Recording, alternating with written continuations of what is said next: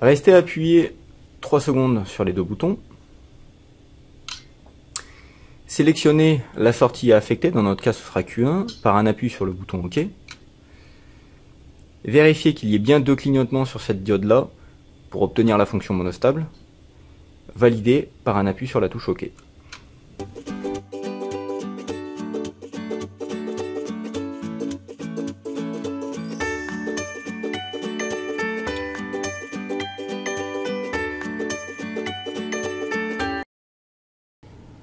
Restez appuyé 3 secondes sur le premier bouton. Déclignotement des LED, appuyez sur le bouton OK pour affecter la sortie relais Q1.